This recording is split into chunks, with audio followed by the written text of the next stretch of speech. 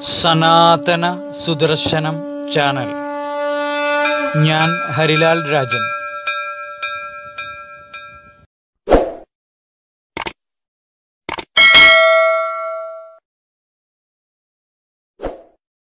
എല്ലാവർക്കും നമസ്കാരം.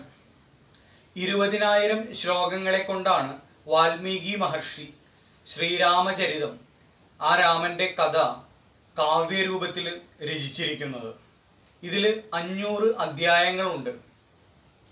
ബാലകാന്ഡം അയോധ്യാകാന്ഡം ആരണ്യകാന്ഡം കിഷ്കിന്താകാന്ഡം സുന്ദരകാന്ഡം യുദ്ധകാന്ഡം ഉത്തരകാന്ഡം എന്നിങ്ങനെ ഏഴ് കാണ്ഡങ്ങളിലായാണ് രാമകഥ വാൽമീകി മഹർഷി രചിച്ചിട്ടുള്ളത്. അതിൽ സുന്ദരകാന്ഡം ഇവിടെ ഏറ്റവും ലളിതമായ മലയാളത്തിൽ സംഗ്രഹിച്ച് അവതരിപ്പിക്കുന്നതാണ്.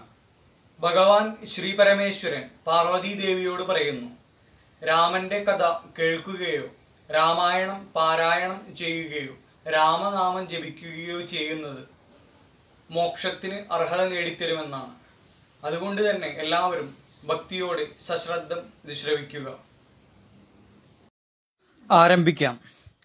ഹനുമാൻ വിരാട് രൂപം കൈക്കൊണ്ട് സമുദ്രത്തിന് മുകളിലൂടെ ലങ്കയിലേക്ക് കുതിച്ചു. വഴിക്ക് വെച്ച് സാഗര നിർദ്ദേശപ്രകാരം തന്നെ സൽക്കരിക്കാൻ കടലിൽ നിന്നും പൊന്തിവന്ന മൈനാക പർവതത്തിന്റെ സൽക്കാരം ഹനുമാൻ നിരസിച്ചു. തന്നെ പരീക്ഷിക്കാൻ ദേവന്മാർ അയച്ച നാഗമാതാവ് സുരസയുടെ പരീക്ഷണത്തിലും ഹനുമാൻ വിജയിച്ചു.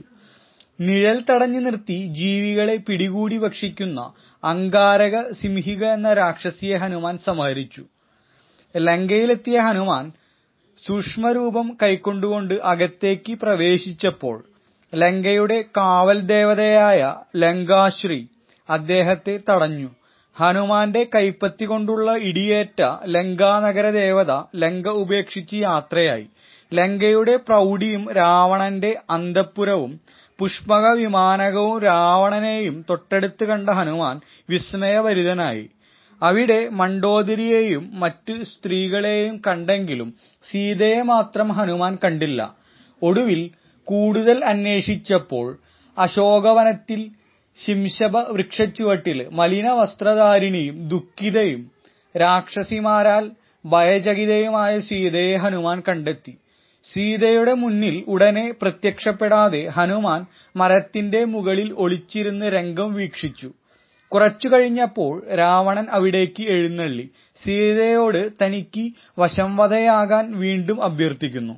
സീത രാവണന്റെ നേർക്ക് നോക്കാതെ ഒരു പുൽക്കൊടിയിൽ നോക്കി ദുർബുദ്ധിയായ രാവണന്റെ അന്ത്യമടുത്തു എന്നും മറ്റും പറഞ്ഞ് രാവണനെ നിരാകരിക്കുന്നു. സീതയോട് കോപിച്ച രാവണനെ ധാന്യമാലിനി എന്ന പത്നി അവിടെ നിന്നും കൂട്ടിക്കൊണ്ടുപോകുന്നു. കാവൽ രാക്ഷസിമാർ സീതയെ വീണ്ടും ഭയപ്പെടുത്തുമ്പോൾ ത്രിജട എന്ന വൃദ്ധയും ബുദ്ധിമതിയുമായ രാക്ഷസി അവരെ തടഞ്ഞിട്ട് താൻ കണ്ട സ്വപ്നത്തിൽ സീത രാമനോട് ചേരുന്നതും രാവണന്റെയും പുത്രന്മാരുടെയും സർവനാശവും കണ്ടതായി അറിയിച്ചു. അതിനാൽ സീതയെ ബഹുമാനിക്കാൻ ത്രിജട മറ്റുള്ളവരെ രാക്ഷസിമാരെ ഉപദേശിച്ചു.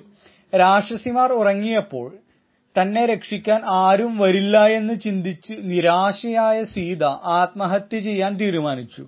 അപ്പോൾ ഹനുമാൻ രാമന്റെ ജീവിതകഥ സീത കേൾക്കാൻ വേണ്ടി പാടി.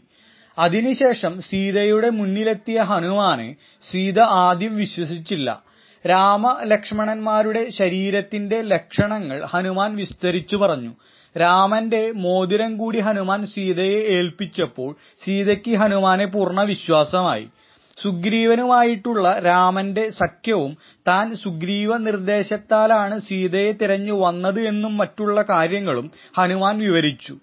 രാമലക്ഷ്മണന്മാരും തന്നെക്കാൾ ശക്തരായ മറ്റു വാനരന്മാരും ഉടനെ ലങ്കയിലെത്തി രാവണനടക്കമുള്ള രാക്ഷസന്മാരെ സംഹരിച്ച് സീതയെ രക്ഷിച്ചുകൊള്ളുമെന്ന് ഹനുമാൻ സീതയ്ക്ക് ഉറപ്പു നൽകി. സീത രാമന് നൽകാൻ ഹനുമാന്റെ കൈവശം തന്റെ ചൂടാരത്നം കൊടുത്തയച്ചു.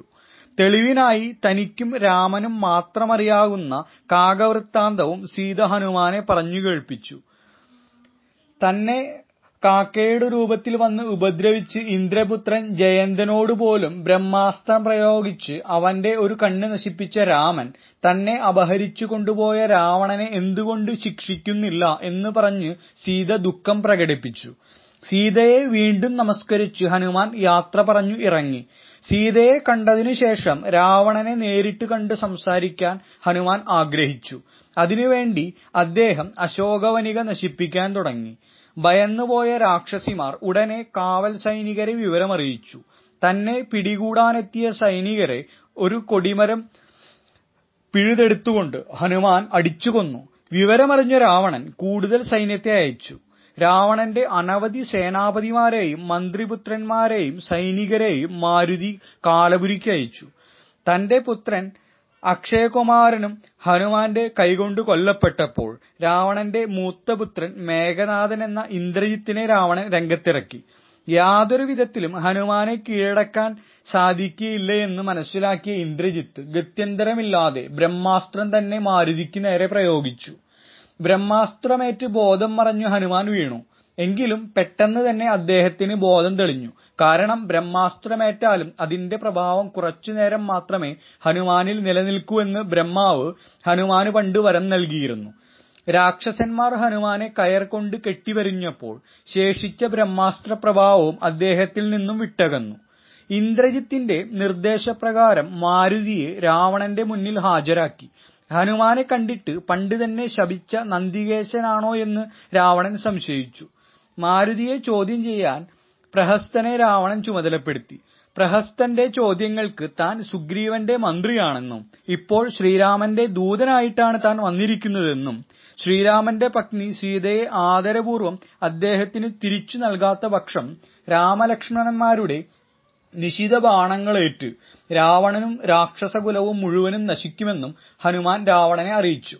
ഹനുമാന്റെ മറുപടി കേട്ട് അത്തദൈവ കോപിഷ്ഠനായ രാവണൻ ഹനുമാനെ വധിക്കാൻ ഉത്തരവിട്ടെങ്കിലും ദൂതവധം പാപമാണെന്ന് പറഞ്ഞുകൊണ്ട് രാവണന്റെ അനുജൻ വിഭീഷണൻ അദ്ദേഹത്തെ തടഞ്ഞു.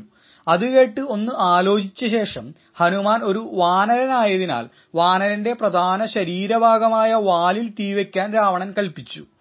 രാക്ഷസന്മാർ ഹനുമാന്റെ വാലിൽ തുണിയും ചുറ്റി എണ്ണയും നെയ്യും ഒഴിച്ച് തീ കത്തിച്ചു. നഗരപ്രദക്ഷിണം ചെയ്യിച്ചു. ഹനുമാന്റെ വാലിൽ തീ കൊളുത്തപ്പെട്ട് എന്നറിഞ്ഞ സീത തന്റെ പാതിവ്രത്യത്തിന് ശക്തിയുണ്ടെങ്കിൽ അഗ്നിദേവൻ ഹനുമാന് കുളിർമയേകട്ടെ എന്ന് പ്രാർത്ഥിച്ചു. ലങ്ക ആകമാനം വീക്ഷിച്ച ഹനുമാൻ ഒരട്ടഹാസത്തോടെ തന്നെ ബന്ധിച്ച കയർ പൊട്ടിച്ചു. മാളികകളിൽ നിന്നും മാളികകളിലേക്ക് ചാടി ലങ്കാനഗരത്തിന് തീവച്ചു ലങ്കാനഗരത്തിൽ മുഴുവൻ ഹനുമാൻ തീ പടർത്തിയെങ്കിലും വിഭീഷണന്റെ ഗൃഹത്തിന് ഹനുമാൻ തീവച്ചില്ല ലങ്കയിൽ ആളിപ്പടർന്ന തീ വസിക്കുന്ന അശോകവനത്തിലും എത്തിയില്ല. സമുദ്രത്തിൽ വാൽമുക്കി തീ അണച്ചതിനു ശേഷം സീതയെ ഒന്നുകൂടെ കണ്ട് നമസ്കരിച്ചു. ഹനുമാൻ കൂട്ടുകാരുടെ അടുത്തേക്ക് മടങ്ങി. ആഹ്ലാദാരവങ്ങളോടെ വാനരവൃന്ദം ഹനുമാനെ സ്വാഗതം ചെയ്തു. കണ്ടു സീതയെ എന്ന രണ്ടു വാക്കിൽ ഹനുമാൻ കൂട്ടുകാരെ കാര്യം ഗ്രഹിപ്പിച്ചു. കോലാഹലത്തോടെ കിഷ്കിന്ധയിലേക്ക് മടങ്ങിയ വാനരന്മാർ സുഗ്രീവന്റെ പ്രിയപ്പെട്ട തോട്ടമായ മധുവനത്തിൽ പ്രവേശിച്ചു. ആവോളം മധുപാനം ചെയ്ത് ബോധം നഷ്ടപ്പെട്ട് തോട്ടത്തിൽ നാശനഷ്ടങ്ങൾ ഉണ്ടാക്കുകയും കാവൽക്കാരനായ ദധിമുഖനെ അടിച്ചിടുകയും ചെയ്യുന്നു. ദധിമുഖൻ സുഗ്രീവനോട് ചെന്ന് പരാതി പറഞ്ഞെങ്കിലും സുഗ്രീവൻ സന്തോഷിക്കുകയാണ് ചെയ്തത്. കാരണം സീതയെ വാനരവീരന്മാർ കണ്ടെത്തിയെന്നും അതിന്റെ ആഹ്ലാദ പ്രകടനമാണ് അവർ കാട്ടുന്നതെന്നും അദ്ദേഹത്തിന് കാര്യം പിടികിട്ടി. ഹനുമാൻ രാമന്റെ മുന്നിലെത്തി. അദ്ദേഹത്തെ പ്രണമിച്ചിട്ട് സീതയെ താൻ കണ്ടു എന്നറിയിച്ചു. സീതയുടെ ചൂടാരത്നം മാരുതി രാമന് സമർപ്പിച്ചിട്ട് സർവകാര്യങ്ങളും അദ്ദേഹത്തെ ഗ്രഹിപ്പിച്ചു. രാമലക്ഷ്മണന്മാരും വാനരപ്പടയും ഒട്ടും വൈകാതെ ലങ്കയിൽ എത്തിച്ചേരുമെന്ന് ദേവിക്ക് താൻ ഉറപ്പ് നൽകിയെന്നും ഹനുമാൻ രാമനെ അറിയിച്ചു.